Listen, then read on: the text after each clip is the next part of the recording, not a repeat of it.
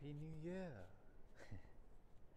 so this whole time I was waiting for like perfect spot to make this make this first video blog of the new year when there isn't a perfect time for anything really.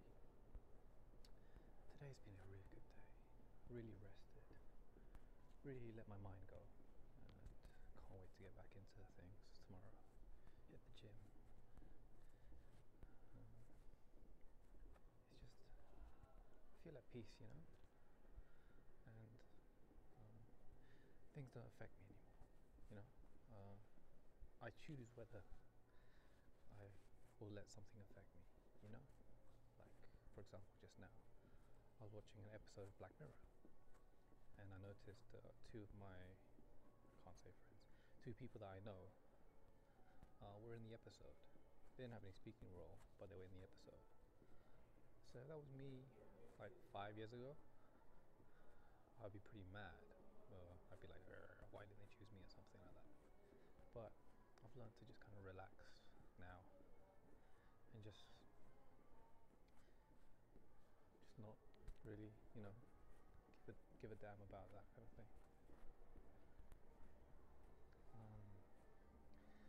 This is the first day of the new year, 2018,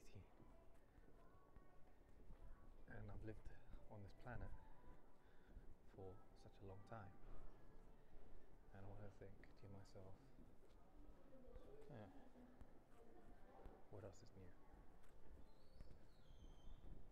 What what does 2018 offer?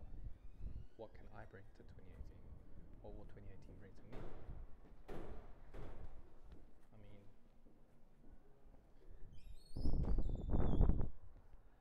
sometimes you think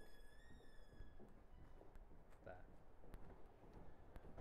you get the feeling where you're putting in all this work and then nothing happens, right? But then there's a parable or a story that I like to tell, which is. Just wait for this.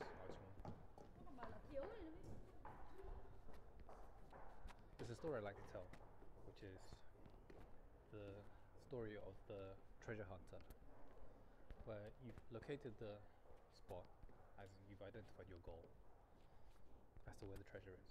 You start digging. When you start digging, you keep digging, you keep digging, you keep digging. All right. And then say you reach 100 feet, you still haven't found the treasure.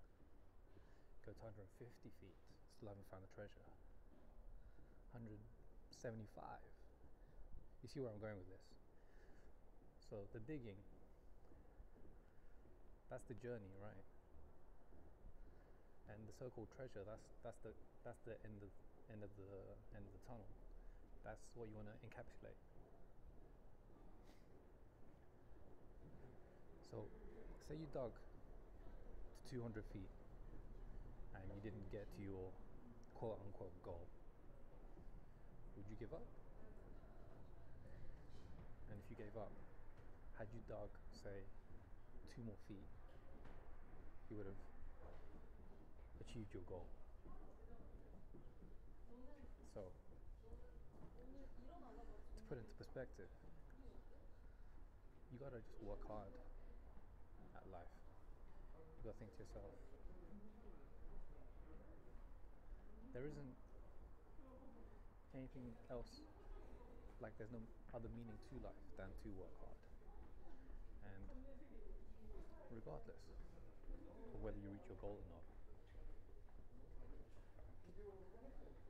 that's not the dream. That's the dream is the journey. The dream is the journey. And that's what makes you a better person.